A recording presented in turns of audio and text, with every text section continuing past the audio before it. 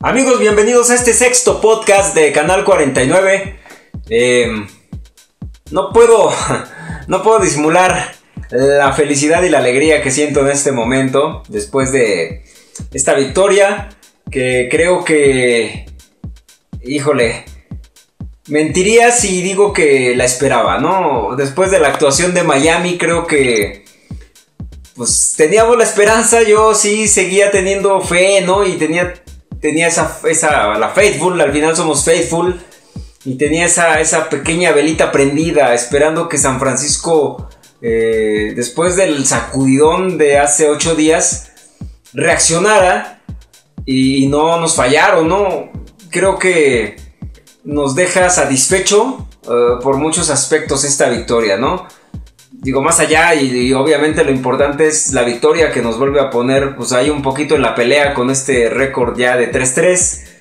¿no? Le pegamos a un, a un rival divisional que es bien importante para tratar de, de, resurgir, ¿no? Del hoyo en el que nos, nos habíamos metido.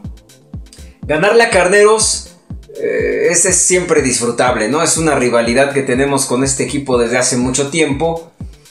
Y ganarle siempre es, es motivo de alegría. Eh, las condiciones en las que se da todo, pues más, ¿no? La verdad es que desde yo en lo, personal, desde la, final de la conferencia nacional, cuando aplastamos a los, a los empacadores para pasar al Super Bowl, no me había vuelto a sentir contento así, ¿no? Digo, obviamente, pues la derrota del Super Bowl. Pero en esta temporada las derrotas de, Arizona, de Filadelfia y la última de Miami, pues creo que sí nos... Bueno, en lo particular a mí sí me, sí me había puesto así como eh, triste, frustrado, enojado, todo, ¿no?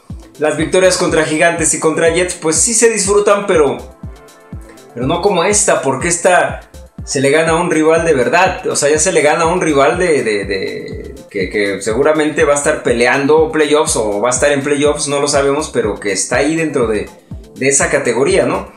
Lo mencionaba yo en, Canal 49 y la portada del jueves era esa. Comienza la verdadera batalla, ¿no? A partir de aquí empezaba el verdadero reto para los 49. y creo que lo enfrentaron bien, creo que lo, lo tomaron en serio, no sé eh, creo que sí, como, como lo hablé y como lo hablamos muchos por todos lados, esta semana fue un sacudidón por todos lados, ¿no? Yo creo que hubo regaños desde hasta arriba hasta abajo. Y, creo que ya era momento de que se pusieran las pilas, de que se tomaran en serio esta temporada y se dejaran de, de seguirse lamentando y seguirse dando sus golpes de pecho por la derrota del Super Bowl. No creo que, que este, este juego les viene excelente porque les recupera la confianza no solo de nosotros como afición, sino de sino a ellos como jugadores, como grupo, como, como staff, como coaches, todos, que, se den cuenta que, tienen un equipo que le puede ganar al, que se les ponga enfrente y que se la vuelvan a creer. Creo que, creo que es algo que no, que no les, eh, les estaba pasando ya por la cabeza. Creo que el shock de la derrota del Super Bowl fue muy fuerte y, creo que esta victoria les viene a regresar eso, ¿no? Yo platicaba ahí con, mi papá y platicaba con algunos amigos todavía hace rato. Y en la semana me preguntaba, ¿no? ¿Cómo ves? O sea, yo, ¿tú crees que ganen? Yo les dije, bueno, es que yo la, la última esperanza que tengo es que tal vez después de jugar un partido como el Super Bowl, ¿no? Que es el reto máximo para cualquier jugador de fútbol americano, este pues a lo mejor les dio flojera o no, sé, enfrentar a estos, esta primera parte de la temporada contra equipos no muy buenos. Y a lo mejor necesitaban un reto de este tamaño para volverse a aprender, ¿no? Para, para volver a, a, explotar y a, y a tomarse las cosas en serio como lo hicieron hoy. Esa era mi última esperanza en este juego y creo que así fue creo que necesitaban un reto así de este tamaño de verdad para poderse volver a activar, ¿no? Lo que vi hoy en los 49 fue no el mismo equipo del 2019 obviamente, no no no no todavía no está y no sé si vaya a estar todavía a ese nivel y a esa altura, pero fue lo más parecido en lo que va del año al equipo de hace una temporada, ¿no? Volví a ver un, un equipo concentrado, un equipo con ganas, un equipo que estudió bien al rival. Digo, además, pues Shanahan creo, yo creo que se lo tomó personal por lo de hace ocho días y porque pues trae su rivalidad con McVeigh, ¿no? Que también se los mencionaba ahí en el canal. Si los Rams hubieran podido nos hubieran hecho pedazos, pero creo que se arma, se arma inteligentemente el juego, ¿no? Además de estos factores de, que los vuelvo a ver metidos de lleno en el juego, los vuelvo a, ver concentrados. Eh, sí me parece que, que se, se tomó en serio en la semana esto, ¿no? Yo esperaba contrataciones, y lo dije en el podcast pasado, yo esperaba que esta semana hubiera un sacudidón y se trajeran piezas para fortalecer las áreas que nos estaban fallando. Sin embargo, creo que que le dan la vuelta y, bueno, el regreso de Mosley obviamente ayuda, ¿no? Enormidades. No, no era lo mismo tener a Brian Allen que, que ahora a Emmanuel Mosley y se dio la diferencia, ¿no? Digo, salvo esa, ese error que tiene ahí en esa, en esa jugada, que creo que también es más de sistema, en el último touchdown de los carneros, da un juegazo Mosley y Barrett, pues ni se diga, ¿no? Creo que Barrett me está dibujando más sonrisas de las que yo me imaginaba, pero eran las que yo esperaba cuando llegó a San Francisco y está jugando a un nivel que yo de verdad espero, de verdad que no tarde mucho en regresar Sherman y esas esquinas con Barrett y Sherman van a ser geniales. Además tener ahí en rotación a Mosley y, que pueda regresar ya en no sé cuántas semanas Kevin Williams, que la verdad hoy pues sí se le extrañó, pero no hizo tanta falta, creo que se, que se cubrió bien. Es la primera vez que veo que, el perímetro, en mucho tiempo, que el perímetro juega bien y creo que era una parte que se tenía que ajustar. La frontal no es ni va a ser la frontal que, fue el año pasado, pero, pero sí tuvo en, aprietos ahí dos, tres veces a Goof, ¿no? Lo, forzó a tirar eh, malos pases. Goof, pues además de eso, pues no salió en su mejor momento, en su mejor tarde o tarde-noche. Y jugó muy mal, ¿no? Este, se va por ahí con un rating de 72, me parece. Una intercepción. Eh, intercepción de Barrett ahí, hablando de él en zona roja. Que creo que nos salva la vida, ¿no? Creo que, creo que dentro, dentro de todo el juego, esa jugada es la jugada del partido. Porque si los carneros han anotado ahí, pues a lo mejor otro, otro gallo nos hubiera cantado, ¿no? Al, final del, juego. Eh, contrario, o sea, hoy San Francisco juega completamente opuesto a, hace ocho días, ¿no? Hoy en, los tres, en las tres áreas San Francisco cumple bien, domina a los Rams, el marcador al final queda ya más, más parejo, pues por, por ese último pase y porque San Francisco también en la segunda mitad la ofensiva creo que ante la lesión de, Monster, pues sí baja, porque pues ya no existió ataque terrestre. McKinnon es muy tibio para atacar los huecos y, creo que, no sé si se lesionó también, pero creo que por eso es que entra ya Michael Hasty. Y a mí ese chamaco me está gustando mucho porque creo que le aporta, también ya lo había mencionado anteriormente, creo que le aporta otra dimensión al, al cuerpo de corredores de San Francisco que son tan, tan verticales y creo que ya Michael Hasty tiene otro centro de gravedad al ser más bajito y tiene otro tipo de características que ahí, no sé en, cuántos acarreos, creo que tuvo como 8 o 10 acarreos, casi logra 50 yardas, ¿no? Entonces creo que este, este, este, chamaco espero verlo más, más seguido en el campo porque creo que sí le puede aportar otra, otra dinámica al ataque, al cuerpo de corredores de San Francisco corren para más de 100 yardas. En realidad contra los carneros se jugó contra casi un, espejo. ¿no? O sea, los carneros juegan casi a lo mismo. La ventaja también de jugar contra un coreback que no corre tanto como otros que hemos enfrentado, pues le ayudó muchísimo al sistema de Salé, ¿no? Que, que a mí, con todo y esto, me sigue debiendo mucho Salé en, muchas cosas. Pero creo que hoy lo hace bien. Eh, cumple, saca el trabajo la defensa, es quien sostiene la segunda mitad. Y pues al final se, lleva la victoria San Francisco, ¿no? Garoppolo jugó muy bien. Y, creo que tiene que ver mucho con, lo que con lo que planea Shanahan en, la posición en la que lo pone, ¿no? Eh, digo, es muy gracioso, ¿no? Porque si, si se pueden ir a ver mi, mi gameplay del viernes, pues San Francisco jugó como yo pensé, yo, yo, yo digo, yo esta era la idea que tenía de cómo tenía que jugar San Francisco hoy para intentarle ganar a, los, a los carneros, ¿no? Que era correrles por afuera de los tacles, porque son lentos para, para, para cubrir por afuera. Por dentro era complicado y se vio hoy, ¿no? Pero por fuera se les hizo mucho daño con, corridas por fuera, con pichadas, con, con counters de repente, ¿no? Cambiando de dirección, con jet sweeps, ¿no? Que al final, pues la jet sweep es la que nos, nos da la victoria con Divo Samuel, ¿no? hasta el mismo locutor lo dice, ¿no? Jugada patentada por los 49, esa, esa jet sweep es la que nos da la, la victoria y creo que se ataca de manera inteligente a, la defensa de los carneros, sobre todo también porque lo mencionaba, la única manera que teníamos de matar la presión de los carneros con la mejor frontal hasta el día de hoy de la NFL con 20 capturas, ¿no? Y Aaron Donald, que el líder eh, cazador de cabezas con 7.5, pues fue no dejes que le llegue a Garópolo. ¿Cómo? Pues pases cortos, pases laterales, pases de 5 yardas, de 4 yardas, máximo de 7 yardas, con dropbacks básicos y atacando las zonas que, pues bueno, a, a Garópolo, todos sabemos que Garópolo, o yo considero que Garópolo, no es un coreback elite, ¿no? Y todos lo sabemos, está por debajo de, Wilson, de Rogers, de Brady, de Mahomes, ¿no? O sea, Garoppolo no está en esa categoría, pero tampoco está en, las categorías de, no sé, de